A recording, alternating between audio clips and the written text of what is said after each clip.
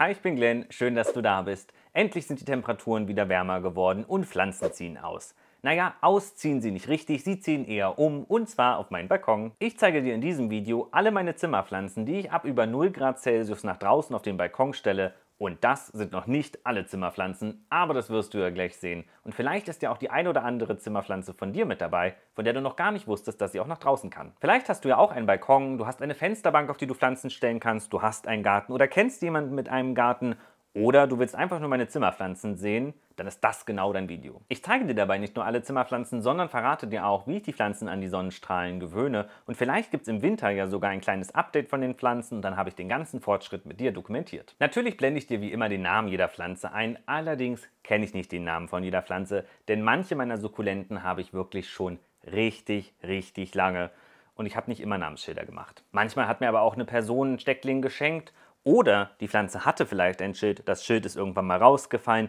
Oder wenn die Pflanze ein Schild hatte, habe ich mir ein Steckling gemacht und die Mutterpflanze verschenkt. Und so weiß ich die Namen nicht von jeder Pflanze. Wenn ich dir also keinen Namen einblende, blende ich dir eine Nummer ein. Und es wäre richtig cool, wenn du mir hilfst, meine Pflanzen zu identifizieren. Denn ich habe mir bis zum Ende des Jahres vorgenommen, dass alle meine Pflanzen ein Namensschild haben. Und es wäre super cool, wenn du mir dabei in den Kommentaren hilfst. Also her mit deinem Lieblingsgetränk und los geht's. In diesen sieben Töpfen befinden sich fünf Arten das hier ist Pflanze 1 diese drei Töpfe. Und das ist eine super, super spannende Pflanze. Vielleicht warst du schon mal in Amsterdam, vielleicht schon mal im Girlie in Berlin.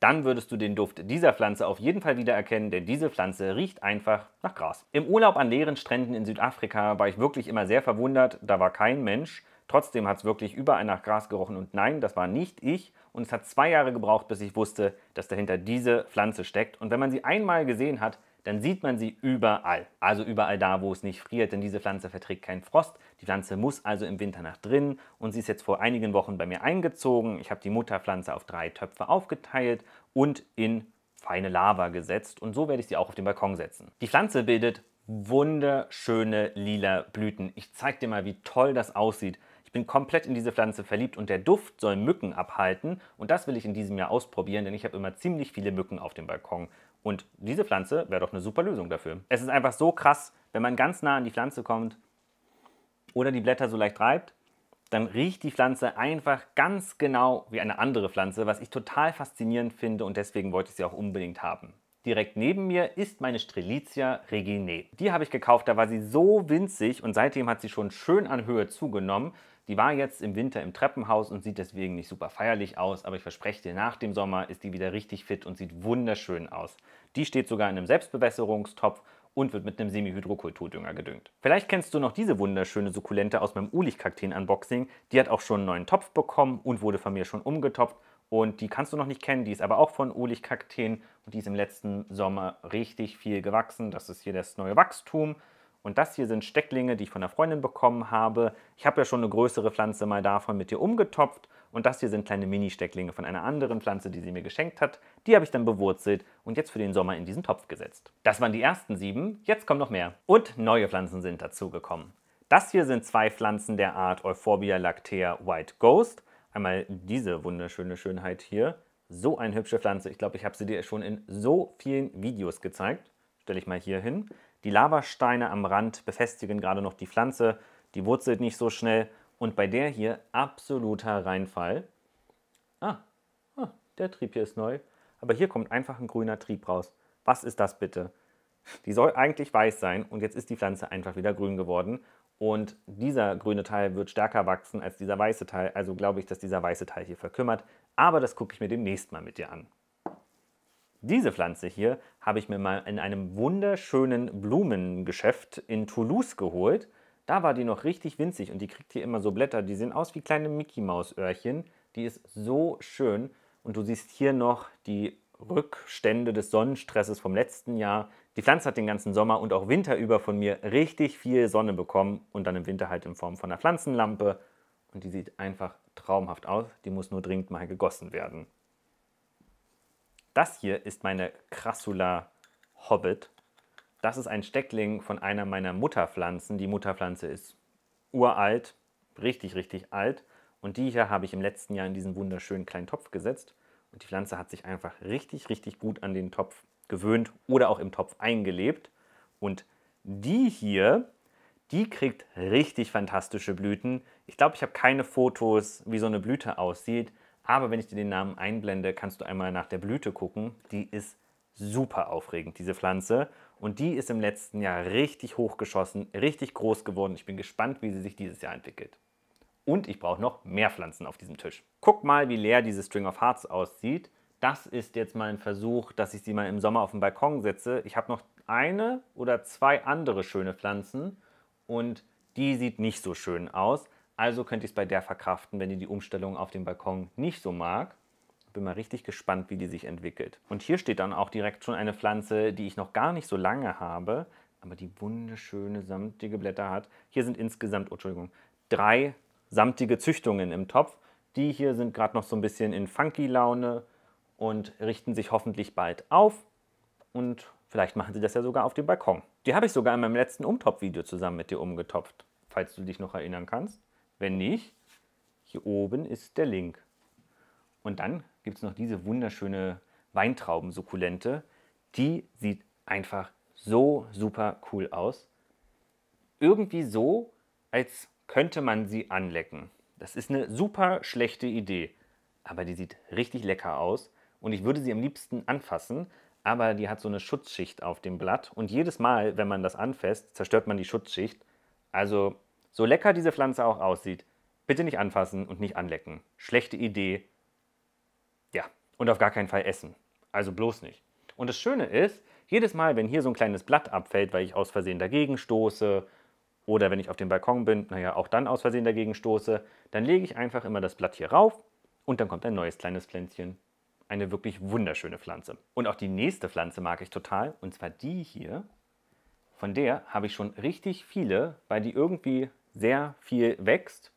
Und dann bricht dieser Teil ab und dann möchte ich die Pflanze behalten. Und so habe ich schon ganz viele Stecklinge dieser Pflanze und werde wahrscheinlich hier auch bald mal wieder Stecklinge schneiden. Ich weiß gar nicht mehr, wo ich die her habe. Ich weiß auch nicht, wie die heißt. Vielleicht finde ich es jetzt noch heraus. Aber ich finde die einfach schön. Die hat so ein schönes Grün und hat dann so leicht rötlich-braune Blattränder. Ist eine, ich finde die total aufregend. Man könnte die auch vielleicht langweilig finden, könnte ich absolut verstehen, wenn man das sagt. Aber das für mich ist das eine richtig, richtig schöne Pflanze. Bei dieser Pflanze hingegen könnte ich nicht verstehen, wenn auch andere Personen sie nicht spannend finden, denn die hat wirklich einfach aufregende Blätter und irgendwann wird die mal blühen. Vielleicht in 30 Jahren, wenn wir uns dann wiedersehen, zeige ich dir dann diese Pflanze in ihrer blühenden Erscheinung und dann kann ich dir sagen, ja, ich fand sie auch damals schon schön. Eine wunder, wunderschöne Pflanze. Und das hier ist übrigens eine Zuchtform von der hier. Das sind beides Crassula ovatas. Und hier, das ist eine kleine, das ist eine etwas größere, die ist sogar schon ziemlich alt eigentlich. Das ist die aufregende Variante. Das ist die nicht so aufregende Variante, aber beide sind wunderschön und kommen in diesem Sommer auf den Balkon. Eine Pflanze ist hier noch auf dem Tisch, die ich dir noch gar nicht gezeigt habe, und zwar diese hier. Das ist eine leicht haarige Echeverie. Die ist super, super samtig weich. Richtig, richtig schön. Die hat keine Blattschutzschicht, die ich kaputt machen kann. Und die fühlt sich einfach großartig an und gehört mit zu meinen Lieblingssukkulenten. Sieht gerade ein bisschen traurig aus, aber ich verspreche dir, die sieht nach dem Sommer so viel besser aus. Vielleicht vermehre ich die auch nochmal, dann habe ich noch mehr davon. Wie viel passt denn noch auf diesen Tisch? Ich finde es mal mit dir heraus. Nichts passt mehr auf diesen Tisch, deswegen zeige ich dir einfach diesen wunderschönen Oleander noch in meinen Händen. Der ist variegiert und hat leicht gelbe Blattränder. Der zieht auch im Sommer jetzt auf den Balkon. Die kennst du vielleicht aus meiner Regaltour, die Pflanze. Und wenn nicht, hier verlinke ich dir mal direkt die Regaltour. Da war sie noch etwas kleiner und ich bin einfach super gespannt, ob diese Pflanze die Umstellung gut mitmacht und wie sie sich dann im Sommer entwickelt. Die ist einfach so schön. Freue mich richtig, dass ich die habe. Das Video wäre nicht vollständig, wenn ich dir nicht auch noch meine Tomaten und Chilis zeigen würde. Das sind rote und blaue Balkontomaten. Ich finde die blauen eher weiß und schwarz, aber die werden als blau verkauft. Die hier hat sogar schon eine Blüte. Ich habe dieses Jahr echt früh angefangen vorzuzüchten. Und vielleicht kriege ich jetzt in den nächsten Tagen schon meine erste Tomate. Das wäre wirklich richtig krass. Das ist noch eine etwas größer werdende Tomate. Die hat so leicht bläuliche Blätter, sieht total spannend auf den Fotos aus und freue mich schon total. Und hier sind kleinere Chilis, die haben so Lampignon-förmige, rosane Chilis. Ist ja eine Chili-Pflanze. Und da bin ich auch super gespannt. Ich esse nicht scharf. weiß nicht, was ich damit mache. Und das ist noch eine etwas größer werdende Chili. Ich habe allerdings auch noch viele weitere Tomaten, aber da nehme ich dich in den nächsten Wochen mit. Und natürlich sind meine Crassula ovata und auch meine Opuntie schon rausgezogen. Die sind viel zu schwer, ich möchte sie dir aber nicht vorenthalten. Die befinden sich bereits schon auf dem Balkon. Wenn du meine Unboxings regelmäßig guckst, dann kennst du auch diese ganzen Pflanzen, außer die hier. Die steht jetzt einfach nur mal so zur Deko hier, aber die kommt natürlich auch auf den Balkon. Die blüht jedes Jahr, was total aufregend ist kriegt dann immer hier so einen richtig langen Stab und da ist eine wunderschöne Blüte dran. Aber auch schon so hat diese Pflanze einfach eine super aufregende Färbung. Und hier gibt es die ganze Zeit kleine Babys. Ich glaube, ich habe doch einen Topf mit dieser Pflanze, weil ich die so schön finde. Eine richtig, richtig wunderschöne, aufregende Pflanze. Aber auch die anderen Pflanzen sind aufregend auf dem Tisch. Wie zum Beispiel hier auch mein schimmliger Tanzzapfen, wie ich ihn gerne nenne. Die erinnert mich einfach an schimmligen Tanzzapfen. Ich weiß auch nicht, was los ist. Aber die wächst hier sogar. Ist das nicht niedlich? Bildet sich noch mehr Schimmel. Und die ist auch super süß. Die wird jetzt schon mal an die Sonne gewöhnt und dann topfe ich die um. Und bei der hat Anna bei mir bestimmt schon fünfmal auf die Hände gehauen, weil ich wollte sie schon die ganze Zeit umtopfen. Und ich habe dir versprochen, dass ich sie nicht umtopfe, weil ich hatte schon mal so eine Pflanze und die hat es leider nicht geschafft, weil ich wahrscheinlich ein bisschen zu voreilig war mit dem Umtopfen oder nicht richtig aufgepasst habe. Mit der möchte ich jetzt aufpassen. Und deswegen gewöhnt die sich jetzt erstmal an die Sonne und dann topfe ich sie um. Und die topfe ich auch alle noch um. Das hier ist mein Zauberfinger. Finde ich immer so aus, so.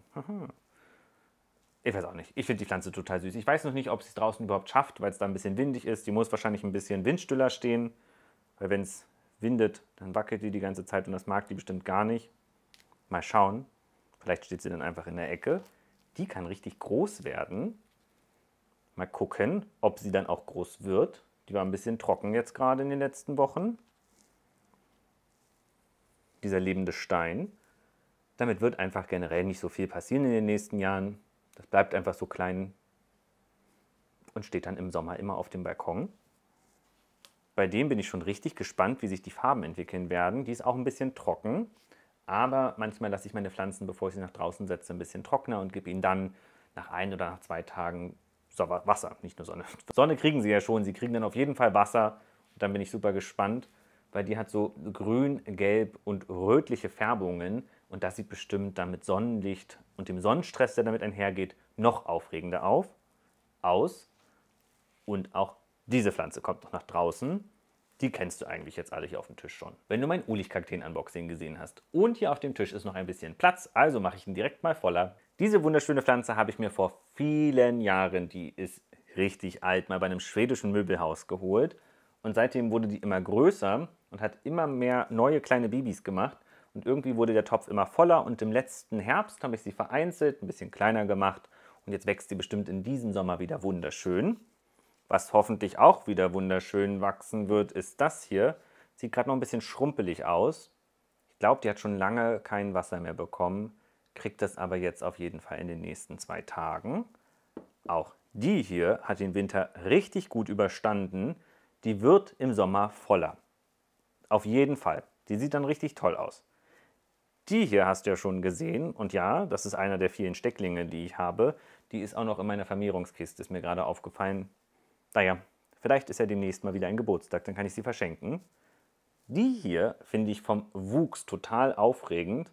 Ich möchte immer irgendwie machen, wenn ich die sehe. Ich weiß nicht, die sieht irgendwie eingesogen aus. Aber irgendwie trotzdem wunderschön. Dann ist die nächste Pflanze mit einer anderen Pflanze hier auf dem Tisch verwandt. Das Aloidendron dichotomum. Ich zeige es dir mal. Und zwar, ups, Entschuldigung, Achtung, Vorsicht. Die hier ist mit dieser hier verwandt. Das hier ist eine Kreuzung aus der und noch einer anderen Pflanze, nur wächst die viel schneller. Bin also super gespannt. Die sieht total schön aus, die sieht sehr ähnlich und wächst ein bisschen schneller. Also habe ich erstmal was von der und später dann was von der. Ja, und die stand immer da, wo die Tauben bei mir auf dem Balkon sitzen.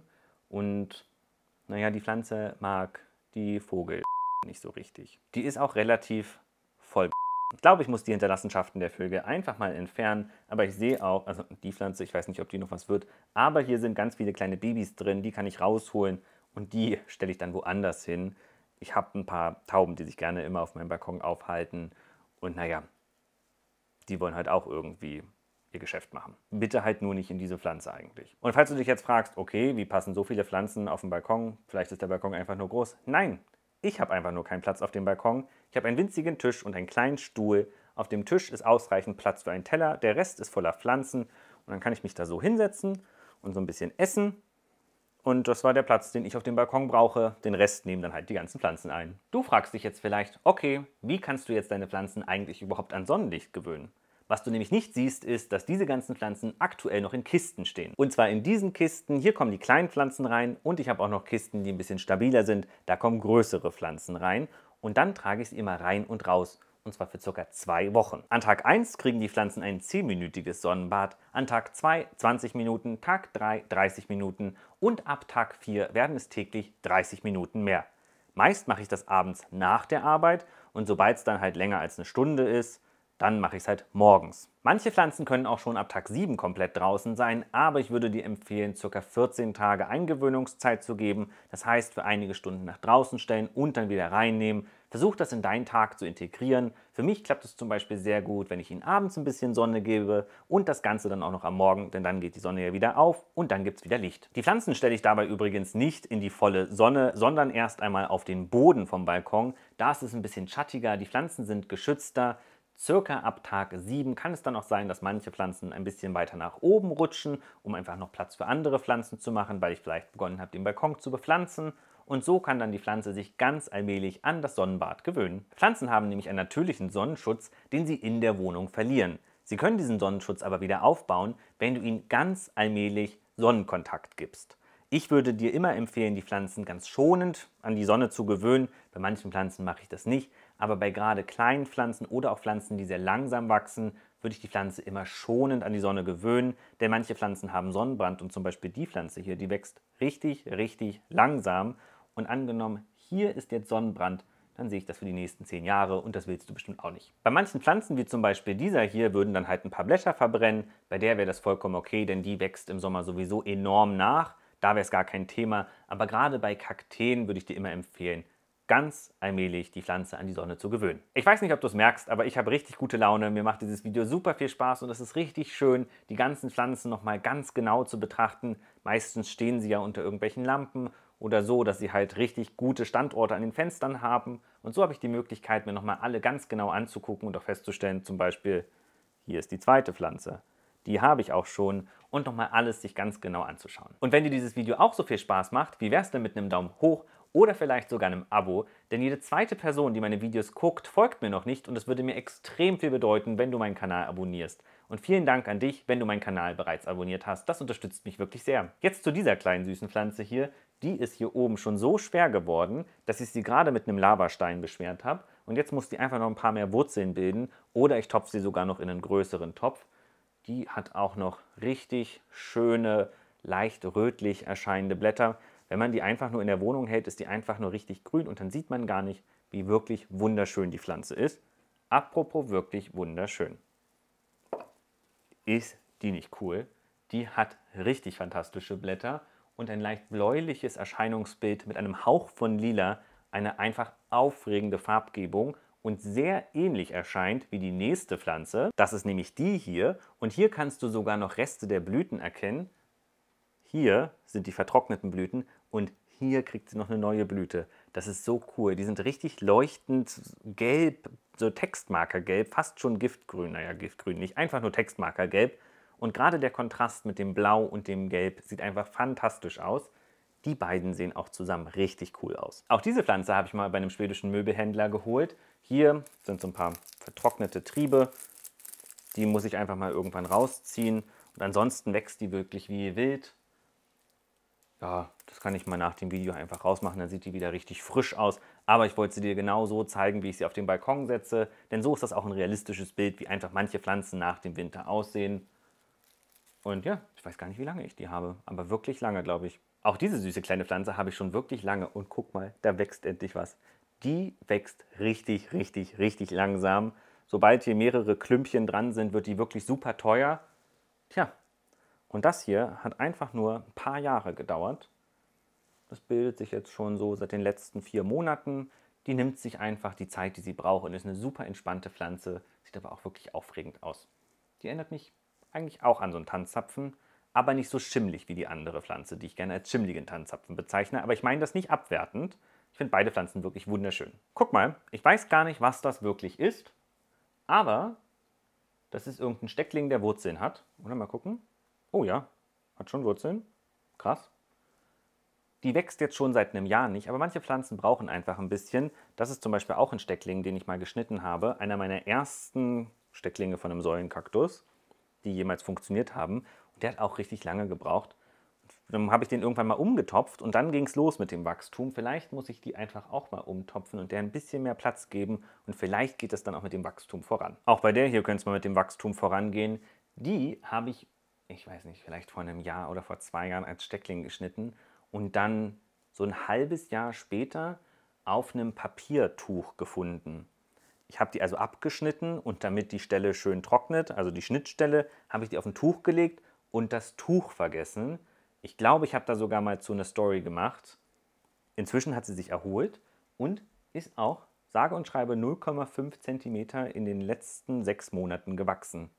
Die nimmt sich auch ihre Zeit. Falls du dich übrigens fragst, wie viel Zeit diese Pflanze gebraucht hat, um diese Höhe zu erreichen, das hier ist auch diese Pflanze. Das ist ein Babysteckling von der Pflanze, die ich dir vorhin schon gezeigt habe. Und die ist circa zwei Jahre alt. Die ist also vielleicht fünf oder sechs der Größe nach. Ich bin mir nicht genau sicher. Und spätestens als ich diese Pflanze wiedergefunden habe, war ich in Höchststimmung. Ich wusste nämlich gar nicht, dass ich von meiner Lieblingsweichen Sukkulente hier schon Steckling gemacht habe, von dieser wunderschönen Echeverie. Ich habe also zwei Pflanzen. Das macht mich gerade richtig glücklich, dass ich weiß, ich habe auf jeden Fall eine zweite. Mir ist es nämlich gerade wichtig, dass ich mindestens immer zwei Pflanzen habe, wenn mir eine Pflanze sehr wichtig ist. Und das habe ich. Jetzt kann ich hier noch mehr Stecklinge von machen, weil der Topf ist hier ein bisschen leer. Da ist auf jeden Fall Platz noch für die eine oder andere weitere Pflanze. Apropos weitere Pflanze. Der Tisch hier ist ziemlich voll. Ich hole mal neue Pflanzen. Wenn ich die Pflanzen so aus ihren Regalen hole, wirkt es fast schon so, als hätte ich wieder Platz für neue Pflanzen. Das geht mir eigentlich in jedem Sommer so. Wenn die Pflanzen dann draußen auf dem Balkon sind, denke ich mir, ah ja, da ist auf jeden Fall noch Platz für eine weitere Pflanze. Und jeden Winter denke ich mir, wo sollen die alle hin? Kennst du das? Geht es dir ähnlich? Naja, so sind es dann halt auch so viele Sukkulenten geworden, falls du dich das schon mal gefragt hast. Und oh, das, oh, wie schön. Der ist letztes Jahr verbrannt. Das ist dieser Teil, das ist das Wachstum, was dann darauf folgte. Aber guck mal, wie süß. Hier kommt ein Neuaustrieb raus. Der ist so klein und winzig. Richtig, richtig niedlich. Die gibt es relativ häufig eigentlich in jedem Baumarkt, Blumencenter, Blumengeschäft, Gartencenter. So möchte ich das sagen. Da gibt es die, da sind die immer super winzig und die können echt groß werden. Also gib der Pflanze einfach ein bisschen Zeit. Die hier ist zum Beispiel vier Jahre alt. Und achte darauf, die Pflanze an die Sonne zu gewöhnen, denn sonst passiert das hier und es geht nicht mehr weg. Aber ja, vielleicht vermehre ich die Pflanze mal. Dann fällt das nämlich gar nicht mehr auf, wenn das unter der Erde ist. Die hier ist auch super süß. Die hat, ich kann gar nicht, ich weiß gar nicht, wie ich das beschreiben soll. Ich finde es einfach süß. Diese kleinen süßen Blättchen, die sind irgendwie so aufgepustet, wie so eine Luftschlange.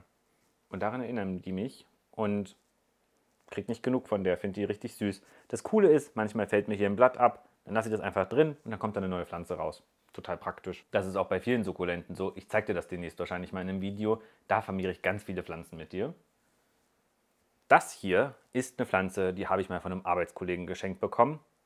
Ah ja, ich weiß, wie der West. Ja, ja, mhm, mhm. Diese Pflanze sieht so aus, als würde sie die ganze Zeit, warte, so machen. Vielleicht, die ist irgendwie ich weiß nicht, was es mit der ist, aber ich finde die total cool. Ich möchte einfach immer hm machen, wenn ich die sehe. Manche Pflanzen lösen in mir eine Bewegung oder eine Aktion aus und die, das ist diese Pflanze dafür, die hast du schon mal gesehen. Und falls du dich fragst, wie oft ich umtopfe, manche gar nicht. Die ist vielleicht schon zehn Jahre in dem Topf. Könnte gut möglich sein. Die nicht. Die habe ich erst vor kurzem vor zwei Jahren umgetopft. Die sieht total aufregend aus. Hat jetzt ein paar Blätter verloren. Muss ich mal wieder neu vermehren oder einfach hier abschneiden. Die hier ist total spannend, weil die hat sich So richtig, richtig schön, fast schon wie verzweigt. Mir ist da irgendwann mal was abgebrochen. Und diese Pflanze ist einfach so eine wunderschöne Pflanze. Die hat so eine schöne Färbung. Ich liebe es auch, wie sie hier einfach in der Mitte diesen Hauch von Weiß hat und diesen bläulichen Farbverlauf hat. So ähnlich hat die das in Grün, wenn die ein bisschen besser wächst. Ich zeig dir die dann mal irgendwann, wenn die schöner aussieht. Jetzt halt ist sie nicht so super vorzeigbar, aber sie ist wirklich wunderschön. Und hier sammle ich eigentlich alle Blätter drin, die so abfallen. Hier siehst du jetzt, hier sind mir zum Beispiel gerade, als ich sie aus den Kisten rausgeholt habe, vier Blätter abgefallen. Lege ich die darauf. Vielleicht passiert was damit, vielleicht auch nicht. Und so sind eigentlich alle Pflanzen, die hier in dieser Schale sind, entstanden. Ich gucke gerade. Ja. Ach, hier, guck mal, hier ist auch eine hier ist so eine Luftschlangenpflanze. Das ist die hier. Und manchmal wird daraus eine neue Pflanze. Und so füllen sich bei mir manchmal Töpfe. Oh ja, die ist auch schon lange nicht mehr umgetopft worden. Die sieht auch total fantastisch aus. Die kommt definitiv zu meinen Umtopfprojekten. Vielleicht topfe ich die noch um, bevor dieses Video geschnitten wird. Also, die braucht dringend einen neuen Topf. Weißt du, was mir gerade aufgefallen ist? Ich stelle ja nicht so oft die Pflanzen, die ich habe, direkt nebeneinander. Ich glaube, das ist die gleiche Pflanze, also die gleiche Art. Ja, mhm. das ist tatsächlich die gleiche Art. Es muss Jahre her sein, dass ich die beide getrennt voneinander gekauft habe. Aber es ist richtig schön zu wissen, dass ich mich zweimal in eine Pflanze verliebt habe. Das ist eine wirklich schöne Sache. In die habe ich mich auch total oft verliebt. Die lebt draußen in meinem Rosmarin auch nochmal und die wächst auch hier. Von der kriege ich einfach nicht genug. Da fallen die Blätter immer ab. Die lässt sich super leicht vermehren. Deswegen habe ich so viele von der. Und ich weiß auch nicht warum, aber die ist auf jeden Fall auf meinem Balkon winterhart, obwohl da auch Minustemperaturen sind. Manchmal ist die vom Schnee bedeckt. Die überlebt das einfach. Da ist mein Blatt in meinen Rosmarin reingefallen und seitdem wächst die auch in meinem Rosmarin. Hm, hier auf dem Tisch ist noch Platz. Ich mache den mal voller. Ich habe dir ja gesagt, dass ich, wo ist sie? Die eine und die Pflanze hier über alles liebe. Und hier ist zum Beispiel ein Blatt, hier war mal Lauch drin. Und dann ist da ein Blatt reingefallen und dann ist der Lauch gestorben und die Sukkulente hat überlebt. Ist das nicht cool? Die möchte einfach bei mir sein und genau deswegen möchte ich sie auch bei mir haben. Die habe ich mal geschenkt bekommen in Blumenerde. Und im letzten Jahr, kurz bevor ich dachte, die Pflanze schafft es auf keinen Fall, habe ich sie in meinen Sukkulentenmix gesetzt und auf einmal ist dieses kleine grüne Etwas hier erschienen. Das wird also wieder. Dieses Jahr ist das Jahr dieser Pflanze. Die sieht genauso aus wie eine Pflanze, die ich dir vorhin gezeigt habe, die noch winzig war. Hm. Könnte sein, dass ich mich hier auch zweimal in die gleiche Pflanze verliebt habe. Finde ich wirklich ein wunderschönes Liebesbekenntnis. Ich scheine sie auch sehr zu mögen. Und auch diese Pflanze finde ich einfach nur traumhaft. Die ist aber auch ein bisschen gemein. Also ich muss immer sehr lieb mit ihr sprechen, damit ich mich nicht an ihr pieke.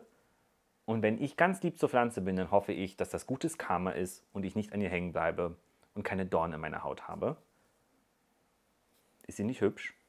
Guck mal, die hat irgendwie auch einen seltsamen Wuchs. Genauso hübsch wie die nächsten Pflanzen, die hier gleich noch hinkommen. Jetzt, wo ich diese Pflanze so halte, scheint sie mich auch an eine Pflanze zu erinnern, die ich dir vorhin schon gezeigt habe. Aber sie sieht irgendwie dicker vom Stamm aus hat aber sehr ähnlich erscheinende Blätter. Könnte die gleiche sein, könnte eine andere sein. Ich weiß nicht, ob ich es rausfinde. Aber naja, beide finde ich hübsch. Die braucht auch mal wieder Wasser. Die habe ich in ganz, ganz winzig meinem Blumenladen in Schweden geholt. Richtig, richtig niedlich. Die ist auch so ein bisschen weicher. Und die kann man auch eigentlich in jede andere Pflanze mit dazusetzen. Dann bedeckt die den Boden so ein bisschen, gerade bei größeren Sukkulenten oder auch Kakteen kann man manchmal so kleine Bodenbedecker noch mit dazusetzen. Das sieht richtig schön aus. Genau dafür ist die gedacht. Aber dafür musste ich warten, bis die noch ein bisschen wächst. Diese Crassula ist auch total cool. Die ist so schwer, dass die umgefallen ist. Und ich glaube, ich muss sie einfach mal aus dem Topf rausheben und so ein bisschen aufrichten, fixieren. Und dann sieht die nach dem Sommer wieder großartig aus. Hier kannst du auch noch mal die Blattfärbung durch das Sonnenlicht sehen. Eine einfach traumhafte Pflanze. Die braucht auch gar nicht viel Wasser. Sehr pflegeleicht. Und hier ist meine Tentakelpflanze. Sieht die nicht einfach aus wie irgendein Tentakel, der aus einem Oktopus rauskommt? Oder mehreren Tentakel? Die ist total spannend. Die hier sind noch von der Zeit, als ich sie bekommen habe. Da wusste ich noch nicht genau, was ich mit ihr machen musste. Und mit der Zeit habe ich es jetzt geschafft, dass sie hier endlich wieder weiter wächst. Die wächst nicht super schnell, wächst aber wunderschön. Genau wie die nächsten Pflanzen. Die letzten drei Pflanzen, die ich in der Wohnung überwintert habe und die jetzt auf den Balkon ziehen, also morgen, sind einmal diese Pflanze. Die wächst auch noch hier, bedeckt von der Efeutute. Ich zeige sie dir mal. Guck mal, wie schön und unkompliziert die da einfach wächst. Eine richtig, richtig schöne Pflanze. Und als irgendwann mal eins der Blätter abgefallen ist, habe ich das, ouch, habe ich das Blatt in diesen Topf hier reingesetzt und daraus ist dieses kleine süße Pflänzchen hier gewachsen. Die hier habe ich dir jetzt auch schon mehrfach gezeigt. Das ist wieder die hier. Die ist ein bisschen trocken, die braucht mal Wasser. Aber eine Pflanze, die ich total aufregend finde, die ich dir auf jeden Fall zeigen möchte, die könnte ich auch schon inzwischen vermehren. Ich finde, die sieht einfach so aufregend aus. Guck mal, wie cool die ist. Ich weiß auch wirklich gar nicht mehr, wo ich die habe. Die ist schon echt ziemlich alt. Und hier, ich weiß nicht, ob du das knistern hörst, wenn die hier an den Rand vom Topf kommt. Die ist schon so schwer geworden, die fällt irgendwann demnächst ab. Aber das Coole ist, die kriegt inzwischen hier richtig viele Triebe und wächst hier wieder sehr massiv, sodass ich vielleicht diesen Teil in diesem Jahr abtrenne. Ich weiß es noch nicht genau und dann ein bisschen mittiger im Topf platziere. Vielleicht lasse ich sie auch einfach so, denn die sieht schon echt richtig, richtig cool aus. Das waren alle meine Pflanzen, die genau morgen auf den Balkon ziehen und ich freue mich schon, dass wir gemeinsam die Entwicklung der Pflanzen dokumentieren. Über ein Abo und auch einen Daumen hoch freue ich mich enorm und das unterstützt mich wirklich sehr. Hast du Lust mit mir gemeinsam umzutopfen? Denn dann sieh doch einfach mal direkt das nächste Video an und dann können wir noch ein bisschen Zeit zusammen verbringen. Bis gleich im nächsten Video. Ciao, Kakao!